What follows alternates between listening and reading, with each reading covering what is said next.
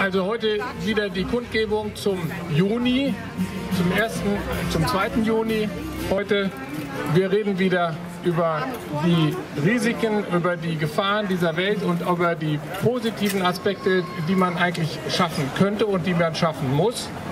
Und wir, wir, Trump hat ja angefangen mit dem, damit er das Atomverbot stoppt, das Iran-Verbot im Iran angreift und das Paris-Abkommen äh, äh, gekündigt hat.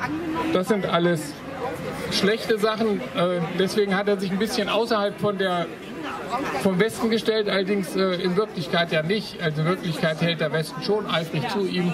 Aber gut, jedenfalls, wir, wir fordern, dass die Völkerrechtsverbrechen äh, gegen den Frieden gestoppt werden. Die Völkerrechtsverbrechen, äh, die Trump macht, die Netanyahu macht, die Erdogan macht, aber auch Deutschland heimlich mit äh, den anderen, mit, äh, mit Trump zusammen. Also das ist, das ist altes Völkerrecht und wir beschwören uns darüber. Gut, das ist die Hauptthema. Achso, und dann habe ich noch zwei Spezialthemen heute.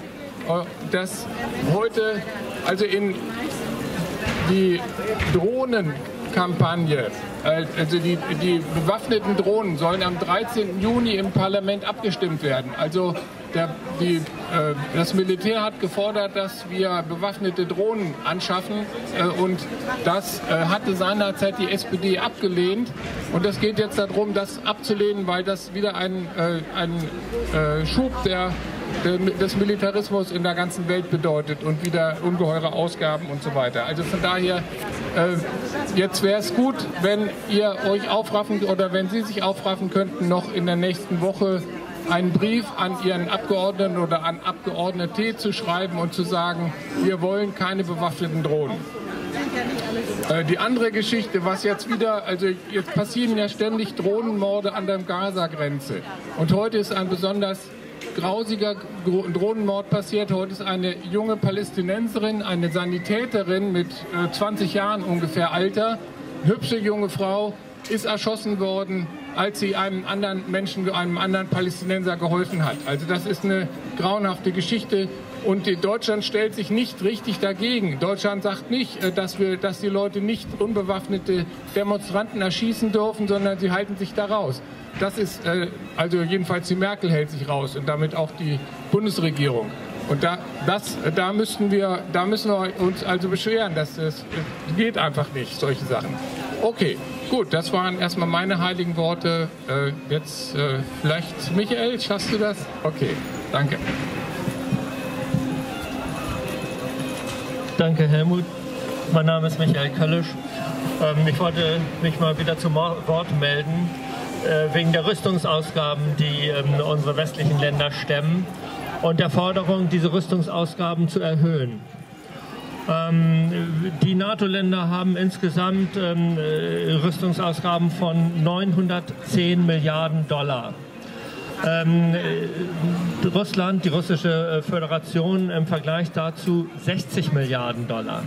Man kann sich also vorstellen, dass man für 910 Milliarden eine ganze Menge Kriegsgerät mehr kaufen kann als für 60. Nun wird uns gesagt, wir sollen unseren Rüstungsetat erhöhen.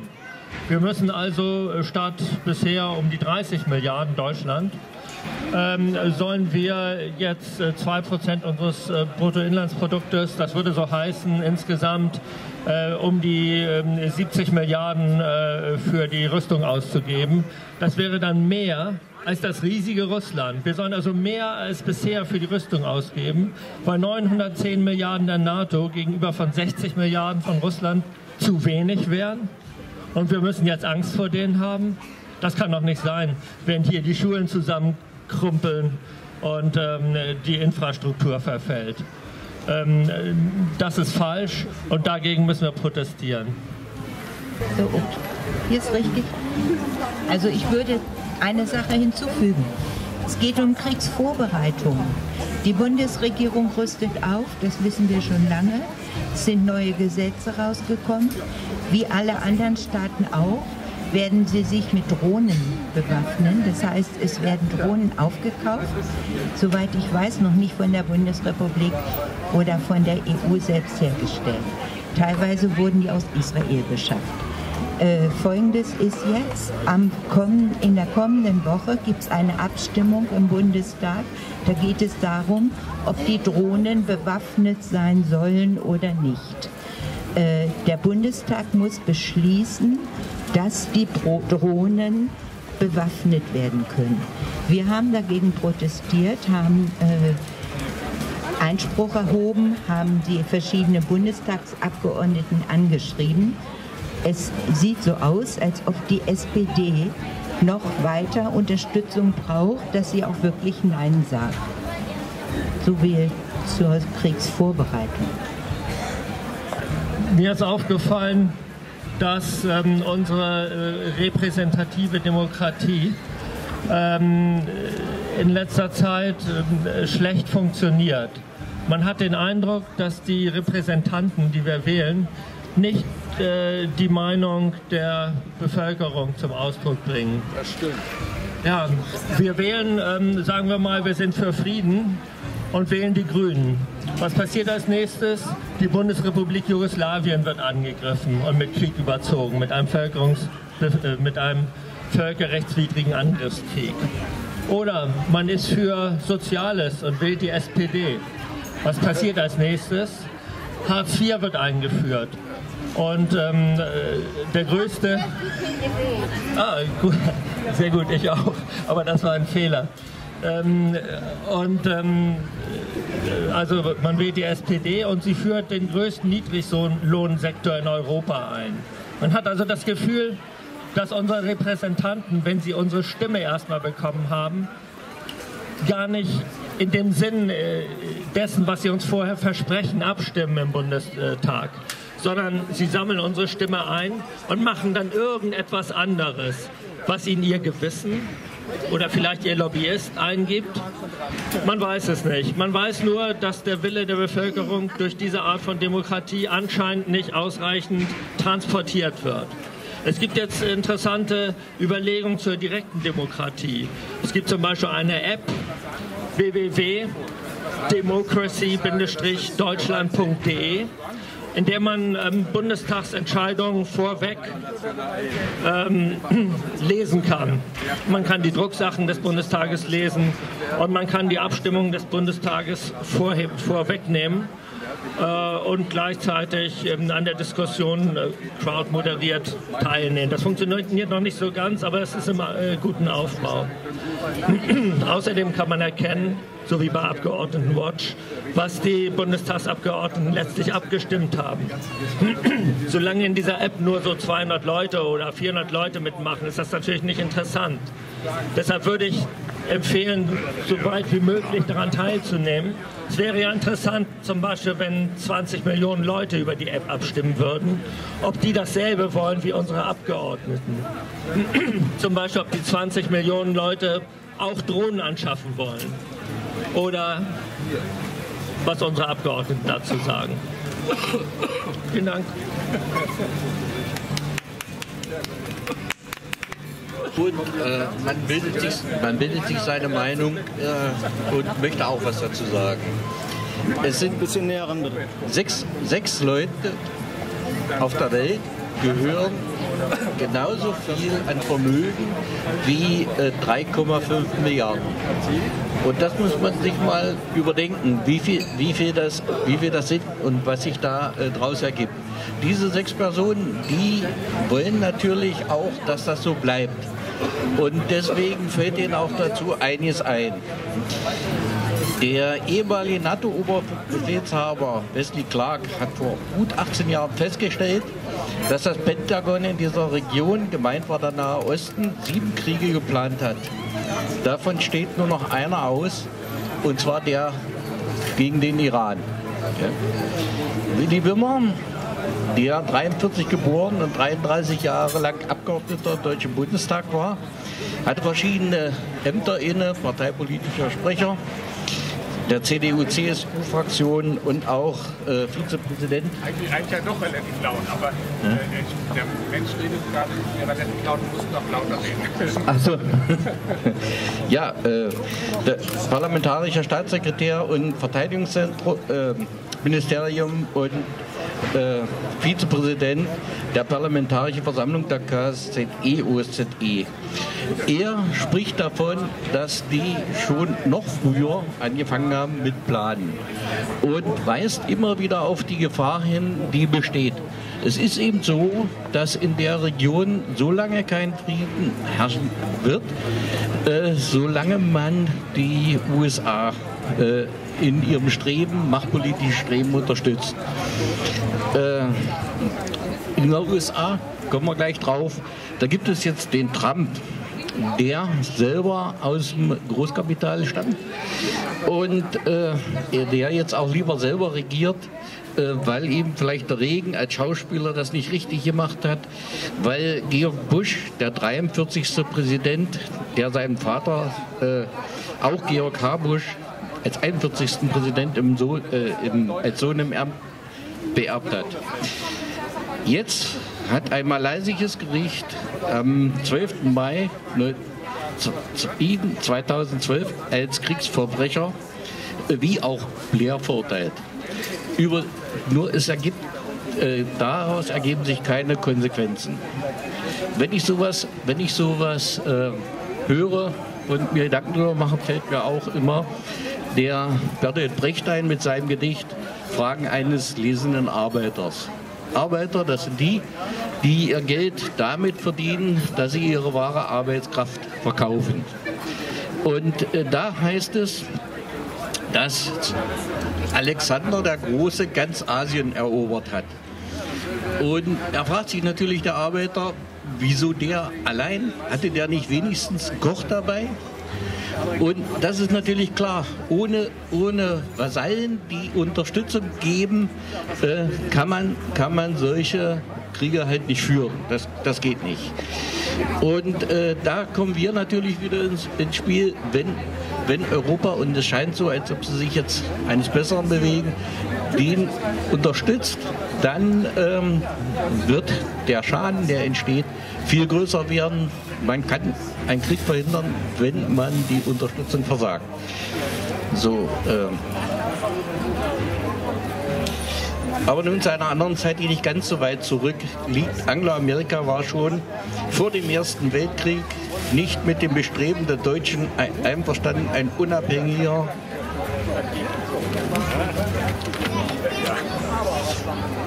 eine, in einer unabhängigen Währung zu wirtschaften. Sie waren auch streng darauf bedacht, andere Konkurrenzwirtschaftssysteme nicht zu tolerieren. Eine Verbindung zwischen Deutschland und Russland sind hier als Schreckgespenst auch heute noch gültig. Einer der wichtigsten Berater der US-Regierung, Brzezinski, sagte 2008, es sei leichter, Millionen zu töten, als sie zu kontrollieren. Brzezinskis Schachbrett ist Brzezinskis Geostrategie gehört zur klassischen Geopolitik der USA. Eurasien ist somit ein Schachbrett, auf dem sich auch in Zukunft der Kampf um die Weltherrschaft entscheiden wird. Zum Zweiten Weltkrieg und Winston Churchill. Er entstammte einer britischen Hocharistokratie. Churchill verfolgte die Manie gegen Deutschland weiter.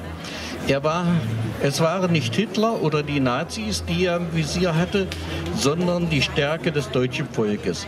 Das hat er mehrfach damals zum Ausbruch ge gebracht. Die Deutschen, den Deutschen muss der Geist Schillers ausgetrieben werden, damit dieser nie wiedergeboren wäre. Deutschlands Identität sollte gebrochen werden. Jetzt sind die Eliten Deutschlands und auch Frankreichs rein nordatlantisch ausgerichtet. Doch warum? Deutschland wollte vor dem Zweiten Weltkrieg seine Wirtschaftskraft aus dem Welthandel befreien und ein eigenes Tauschsystem etablieren. Das hätte der Weltfinanz keinen Gewinn eingebracht. In Libyen war das übrigens auch so. Als die ihr eigenes Währungssystem eingeführt wollten, äh, wurden sie angegriffen, zerstört. Äh, Syrien wollte keine, keine Ölleitung, keine Öltrasse tolerieren oder, oder bauen lassen. Und schon ging es mit dem, mit dem Krieg dort los, mit dem Change, Regime Change. Es ist ja so, dass ähm, Amerika zu Syrien noch die besten Verhältnisse hatte, als er einen ein Attentäter, als, als ein Attentäter in Marokko äh, gefasst wurde, der in äh, 9-11 involviert war. Und der wurde dann nach Syrien verbracht, um dort, um dort verhört zu werden. War eingesperrt und ist jetzt in den, in den Würden, äh, in den Kriegswürden äh, dort freigekommen. So, nun mal also, das primäre Interesse der Vereinigten Staaten durch das letzte Jahrhundert hindurch, also im Ersten, Zweiten und im Kalten Krieg, sind die Beziehungen zwischen Deutschland und Russland gewesen, denen denn vereinigt werden diese beiden als einzige Macht, die uns bedrohen könnte und daher sicherzustellen, dass das nicht passiert. Es sollen Deutsche und Russen aufeinandergehetzt werden, um auszubluten. So, Waffenexporte, die kommen auch immer wieder von Deutschland. Wir kennen das mit der Rüstungsindustrie. Es sind jetzt erst sechs Küstenschutzboote an Kuwait ausgeliefert worden. Und zwar in ein Konfliktgebiet. Es hingen da 300 Arbeitsplätze dran und die Exporte hätten die Volksvorgängerregierung beschlossen gehabt. Kuwait setzt damit ein Embargo gegen den Jemen durch. Dort verhungern deswegen 300 Menschen täglich. Und heute stellt sich ja. Nicht so lang, das hört kein Mensch. Ja, dann, Immer nur kurze Sachen. dann gebe ich mal weiter. Ist ja auch erstmal reicht's. Der nächste. Ja, hallo, mein Name ist Mark Hefermann. Ähm, ich äh, kann vielleicht mal was sagen zum bösen Mann-Frame. Das ist äh, eine Technik, der wir hier ausgesetzt sind, äh, um unsere Meinung zu manipulieren. Also man erfindet immer böse Leute auf der Welt, sei es Putin. Und vielleicht ist er auch böse, aber man äh, richtet den Fokus ausschließlich auf diese Person. Das ist der, die Technik. Und äh, man verschweigt dabei vielleicht äh, auch eigenes Fehlverhalten oder eigenes äh, falsches Vorgehen. Und das ist äh, im Grunde ein Problem. Wir werden immer aufgehetzt von einer Talkshow in die andere. Jedes Mal gibt es dann wieder so ein Brandthema, wo eben so ein böser Mann dann äh, kritisiert wird in seinem Handeln. Ja. Jetzt können wir mal auf unser Handeln gucken. Und da ähm, fällt mir auf, ja gut, im Zweiten Weltkrieg zum Beispiel, da gab es so eine Regel, wenn Partisanen deutsche Truppen angegriffen haben, dann hat man wohl danach dann zehn Partisanen hingerichtet als Strafe. Ne, Das nennt man Sühnequote. ne, Das heißt, für einen getöteten deutschen Soldaten wurden zehn Partisanen hingerichtet. Äh, wo sind wir denn da heute? Bei 9-11 geht man davon aus, dass ungefähr 3500 Personen gestorben sind durch den Einsturz des Gebäudes. Und äh, ja, seit diesem Datum hat es mehrere Kriege gegeben gegen islamische äh, Staaten. Und in diesen Kriegen sind mittlerweile drei Millionen äh, Is Islam, äh, Islamisten äh, oder Isla Bürger islamischen Ursprungs oder arabische Bürger umgekommen. Und äh, ja, das bedeutet, dass wir jetzt eine Synoquote haben, aktuell von 1 zu 1000. Das heißt, für jeden getöteten US-Bürger werden 1000 Moslems getötet. Das sind aktuell die Zahlen. Und äh, ja, die Drohnen sind ein klassischer Beleg dafür. Wir kämpfen ja auch hier gegen die Drohnen. Da möchte man erreichen, dass die Sühnequote unendlich wird. Denn man hat gar keine Opfer mehr, weil man lenkt die Drohnen äh, remote, also aus dem Office. Irgendwer sitzt hinter seinem Schreibtisch, sieht äh, das Videosignal, macht sich lustig, tötet Menschen, die nur Pixel sind. I killed some pixels something like Man kann sich diese ganzen Videos angucken im Internet. Da gibt es ja Mitschnitte von den Drohnenpiloten, die ohne Moral und äh, da diskutieren. Ja, und äh, das ist der aktuelle Stand. Aber uns erzählt man, dass es eben einzelne Menschen gibt, die so böse sind. Ja.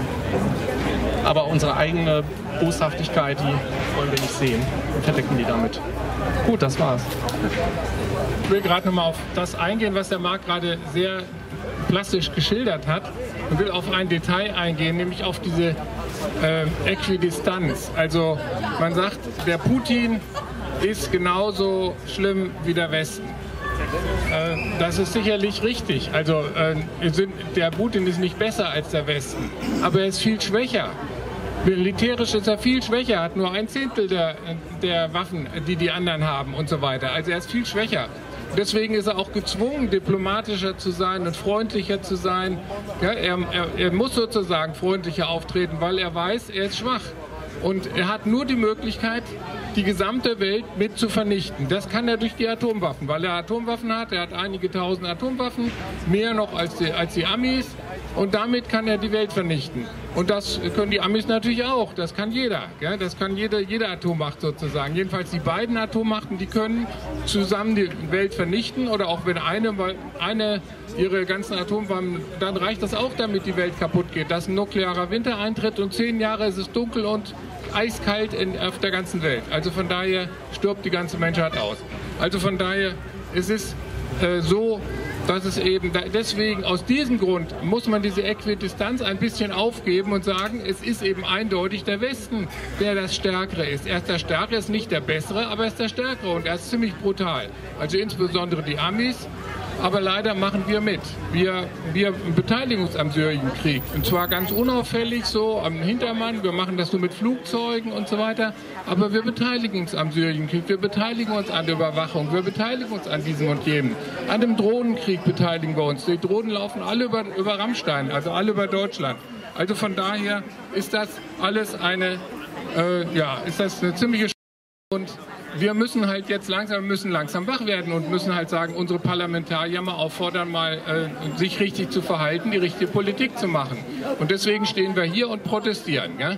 Wir protestieren und wir sagen, es ist eigentlich alles Quatsch. Man, kann, man könnte so viel besser leben. Die ganzen Militärkosten sind so ungeheuer teuer, dass man damit problemlos die Welt retten, sanieren kann. Problemlos. Ja, also man, es reicht ein Teil der Militärkosten, um die Welt zu sanieren. Also von daher ist es eigentlich eine ziemliche Katastrophe. Und äh, man muss aber, andererseits ist eben die Hoffnung ist da, es geht, es ginge besser. Aber es ist komisch, dass die Politiker sich alle so einduseln lassen oder so komisch verhalten. Also von daher, und wir müssen halt die Politiker wählen, die besser sind und die, die mal eine Friedenslogik haben. Bisher haben die Politiker überwiegend eine Sicherheitslogik. Und die Sicherheitslogik führt zum Krieg. Also man muss eine Friedenslogik haben. Man muss komplizierte Sachen kompliziert machen. Man muss lange Verhandlungen führen. Ja, wie, wie die OSZE, die Organisation für Sicherheit und Zusammenhalt in Europa, die war eine, die hat über Jahre und Jahre und Jahre getagt, ja, bis sie dann langsam, bis sie langsam Schritt für Schritt voranging. Leider ist sie geschwächt worden nach dem nach dem äh, Mauerfall ist sie geschwächt worden, dann plötzlich, dann war sie nicht mehr viel wert. Aber sie gibt es immer noch und sie hat uns in der Ukraine auch ein bisschen das Fell gerettet. Also von daher ist es durchaus eine gute Sache.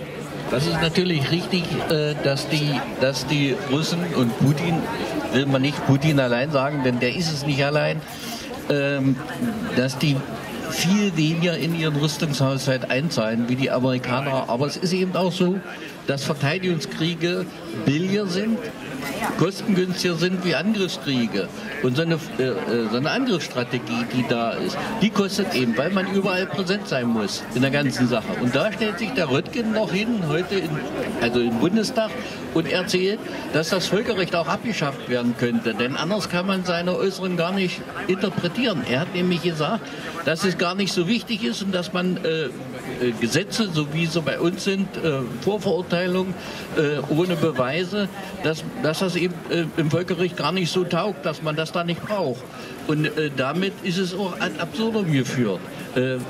So, genauso ist es wie Hamas, mit dem man, mit dem man ja auch äh, nicht einer sein, Meinung sein muss, äh, der einen Anzug anhat, der viel zu große Taschen hat. Der, der will Geld ausgeben, äh, was, was er normalerweise oder was wir besser brauchen könnten in Schulen, in, in Medizin und, und so weiter. Der Witz der Woche war dieses, diese Woche, dass ein erschossener russischer Journalist der, der dann doch nicht ganz tot war, sondern putzmunter und unverletzt ein Attentat, das gar keins war. Und der angebliche Täter war schnell ausgemacht, das war natürlich wieder Russland. Ja, ganz, ganz schnell, das ist, das ist ein Witz. Äh, aber es springen alle Medien erstmal darauf rein. Und der hat natürlich auch sicher gedacht, er kann ein bisschen Geld machen. Aber im Grunde genommen ist er vom ukrainischen Geheimdienst äh, korrumpiert worden. Das, das ist nun mal nicht anders. Ja? So, und dann, dann wollte ich noch mal ganz kurz nur sagen, es ist auch so, dass man nicht nur in Parteien tätig sein muss. Ohne Parteien kann man natürlich viel mehr bewegen. Und die, genau, und die, ja, als Bürgerinitiative sowieso war ich früher auch schon bei uns im Dorf tätig. Aber es ist eben auch so, dass man die, die Kräfte zusammenführen muss. In, in das, ja, das ist ja auch, das ist auch gut so. Bloß man muss natürlich auch mit denen arbeiten, die mit einem einer Meinung ist. Man muss denen eine Basis äh, äh, geben. Und das, äh, und das ist ganz wichtig. Ich denke mal, ich denke mal, wenn es im September da angeht, äh, wird sich da auch was zeigen. Wir, wir hatten das früher mal, ähm, ganz, ganz früher, ähm, da war es dann auch äh, eine, alle Parteien vereinigt in eine Richtung. Ne? Aber das soll es ja nicht sein. Es sollen ja nur die Fortschrittlichen sein. Die anderen brauchen wir da nicht. Ja, das ist natürlich das Stichwort für die Bürgerinitiative Braunschweig. Ähm, wir sind ja angetreten, dass wir eben sagen, es reicht nicht aus, nur Bürgerinitiative zu sein, sondern man muss den Parteien auf äh, den Pelz rücken. Und wir machen den Parteien auch Vorschläge in den verschiedenen Fragen, ob das Anti-Atom ist oder ob das äh, sonstige kommunale, aber auch überkommunale Thema, Themen, äh, wie man mit denen zusammenarbeitet. Nur mal als Beispiel, wir haben uns ja durchaus auch für, dafür eingesetzt, dass in Europa der äh, Frieden herrscht, dass wir nicht uns wieder gegeneinander aufhetzen lassen. Wir sind froh, dass wir nicht mehr den Erbfeind Frankreich haben. Wir haben äh, das Komitee äh, mit im Komitee in Roselis in Belgien eine Erinnerungspartnerschaft geschaffen. 2014 war das, nämlich zum Beginn des Ersten Weltkrieges. Wir haben jetzt gerade erfahren gestern, dass in diesem Jahr eine Delegation aus Roselis, aus Esoprell, so heißt die äh, übergeordnete Gemeinde, in Braunschweig sein wird. 1. September, Antikriegstag. Warum? Weil der Erste Weltkrieg ist vor 100 Jahren zu Ende gegangen oder wurde beendet und das wird entsprechend gefeiert. Und wir haben sogar noch mehr. Wir haben dann auch äh, einen Besuch am äh, 18. August in Belgien, in Roselis. Da wird wieder eine BIPS-Delegation hinfahren, wie wir jetzt schon das viermal gemacht haben, jetzt das fünfte Mal. Und die Stadt Braunschweig schickt inzwischen auch immer eine Delegation und hat ja hier auch angekündigt, den Garten der Erinnerung dort auf dem ehemaligen Kaserngelände hinzustellen. Aber wir haben ein riesiges Problem dort. Wir haben da immer noch Traditionsverbände, die haben ihre, äh, ihren Ehrenhain dort wo Traditionsregimenter bis hin zum, zur, zur, zur Schutztruppe Deutsch-Südwest geehrt werden als Vorbilder. Äh, und das geht natürlich gar nicht. Da müssen wir uns dann riesig schämen dafür, wenn diese Steine noch stehen, wenn dann die Delegation kommt. Es werden nicht die Opfer dort gewürdigt, sondern die Täter werden da gewürdigt. Das muss man sich wirklich deutlich machen. Es gibt also hier immer noch die, den Kampf um die Interpretationshoheit von Opfern will man nichts wissen, will man überhaupt nichts wissen. Äh, aber wie soll Aussöhnung funktionieren, wenn man bestimmte Dinge nicht aufarbeitet? Und das ist auch eine wichtige Arbeit, die Bürgerinitiativen leisten in der Stadt. In Roselis haben wir eine Initiative, wir haben die Initiative auf Stadtebene. Äh, denn Roselis ist kein Mädchenname, sondern ist der Name einer belgischen Stadt, die von herzöglichen Truppen am 18. Äh, August 1914 platt gemacht worden ist. Kriegsverbrechen. Der Pastor ist erschossen worden, nicht nur er, sondern 49 andere als Geiseln genommen, um dort schnell durchzukommen. Es war völkerrechtswidrig, was damals passierte. Äh, das muss aufgearbeitet werden und man scheut sich hier in Braunschweig bis rein in die Stadtverwaltung, scheut man sich, das vernünftig aufzuarbeiten. Es gibt dort auch einen Pastor im Bereich Lindenberg, der alles tut, um das abzudeckeln der ganz viel auch hetzt gegen BIPS, auch hetzt gegen mich. Immer weiter, immer weiter, um zu sagen, nein, er lässt nur Opfer zu, Opfer des Stalinismus. Was die damit zu tun haben, Stalin gab es ja noch gar nicht im Ersten Weltkrieg, aber ist egal. Er führt immer noch den Kalten Krieg weiter. Wir haben kalte Krieger, die hier maßgeblich in dieser Stadt das Sagen haben. Immer noch, leider. Sie haben zwar nicht die Mehrheit, wir können ihnen, sind ihnen auf die Pelle gerückt, aber Sie haben wie ein Pfahl im Fleisch immer noch Ihren Ehrenheim. Und guckt euch das Ding an, das geht gar nicht. Da müssen wir also in irgendeiner Weise äh, auch weiterarbeiten. Also nur mal dazu. Wir haben genug zu tun, also auch hier in Braunschweig, um die kalten Krieger hier weiter zurückzudrängen. Und das geht nur, indem man aufklärt und indem man die Völkerversöhnung, äh, Freundschaft und so weiter schafft. Aber es geht nur auf der Basis, dass man aufarbeitet, wie es gewesen ist seinerzeit. So, das wollte ich nur gesagt haben und dann jetzt weiter zum aktuellen Kriegsgeschehen. So, wer möchte? Ja. Friedenskampf und Kultur gehören zusammen und deswegen singe ich jetzt ein Lied. Ja. Nicht wahr, die neue Lage macht uns nicht gerade froh. Raketen hier und da, doch es war nicht immer so. Wer will, dass all diese Dinge verschwinden von der Welt? Der muss zunächst mal fragen, wer hat die erste bestellt? Mit Fragen geht es weiter.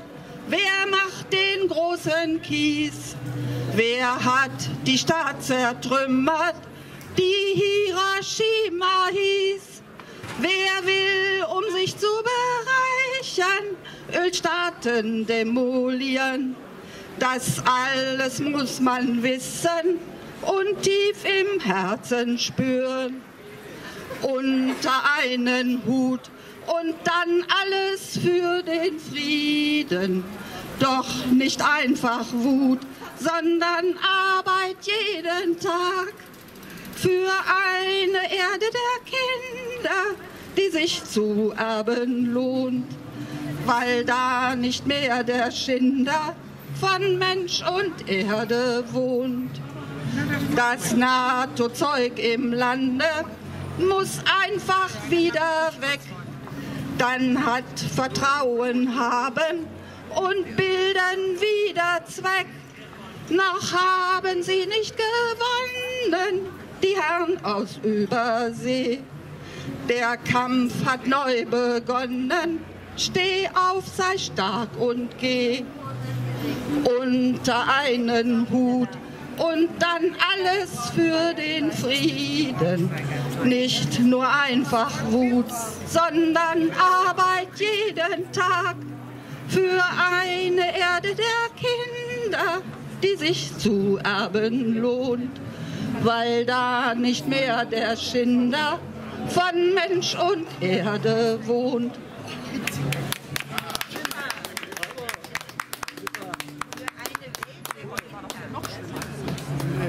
Ja, schönen Dank, Heide, für die, für die Kultureinlage, engagierte Kultureinlage. Ich habe nur noch eine Information hier zusätzlich zu dem, was ich vorhin gesagt habe. Ähm, wir haben diesen Ehrenhain, diesen unsäglichen der Traditionsgemeinschaft, die dort ihre Regimenter feiern. Nicht irgendwelche Menschen, sondern ihre Regimenter feiern die. Mit Totenkopf, mit Werwolf und solche Dinge. Das muss man sich klar machen, das geht nicht. So, wie es anders geht, das zeigen uns die Belgier. Wir werden am 18. August in Belgien ein Erinnerungsmahnmal eröffnen, einweihen, unter Beteiligung der Stadt Braunschweig und natürlich auch von uns, eine eigene Delegation der BIPS, das so aussieht. Es ist abgesprochen, auch mit dem, der Oberbürgermeister hat das freigegeben. Ihr seht rechts in diesem Haus, in, unter diesem Dach, der rechte Flügel dort, da ist das Wappen der Stadt Braunschweig. Und es wird, es steht da drauf in der Mitte, La Mémoire partagée, heißt wohl so, geteilte Erinnerung an den Krieg 1914-18 im Jahre 2018. Das wird von einer Schule dort aufgestellt werden und wird am 18. August eingeweiht. So kann man auch Denkmäler würdigen und überhaupt schaffen. Man muss nicht diese Denkmäler, die wir hier haben, man muss nicht solche Dinge haben in militaristischer Weise. Das ist völlig kontraproduktiv. Also ein sehr großer Erfolg. Wir freuen uns dann auch, dass danach, kurz danach, diese Belgier dort aus Roselis oder Roselie, wie die ist ja französisch ausgesprochen, hier in Braunschweig diesmal sein werden. So, jetzt kommt Brigitte. Dankeschön. Guten Tag, liebe Mitbürgerinnen und Mitbürger. Mein Name ist Brigitte Konstein-Gülde und heute habe ich die ehrenvolle Aufgabe, hier das Schlusswort zu sprechen.